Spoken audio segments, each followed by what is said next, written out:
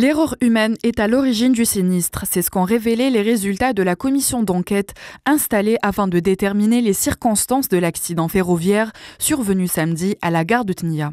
Le facteur humain, il est partout. Il est partout. Donc, il ne faut pas se focaliser sur le mécanicien parce que celui qui est en train de nous sauver de catastrophes ferroviaires, en majeure partie, c'est le conducteur il chauffe le portable, il se met la musique. Donc, le système ferroviaire, le maillon faible c'est l'homme. Il faut qu'on réfléchisse et on essaie de travailler, de renforcer le comportement humain par de nouveaux systèmes.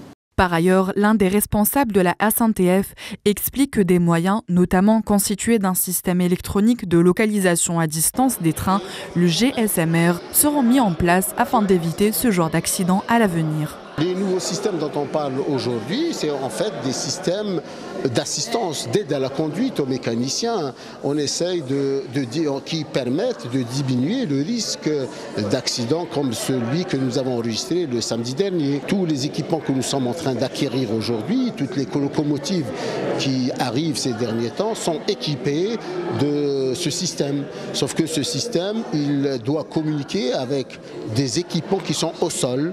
Ces équipements au sol ne sont pas encore posés.